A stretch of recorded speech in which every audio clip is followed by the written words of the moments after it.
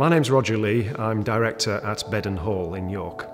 As a small independent meetings and functions venue, uh, it's often difficult to find the resources, both financial and uh, manpower, to look after a marketing plan, to engage with other organisations in the city, uh, and to keep an eye on what's necessary to keep the business moving forward. And John has been invaluable in making us look at different ways of working, making us work beyond our comfort zone uh, and generally helping uh, this uh, small but much loved venue punch above its weight uh, in, in this current economic climate. We've been working with John for three years now um, and uh, it has been an extremely enjoyable process uh, and John's become very much a part of our team here at Bedding Hall.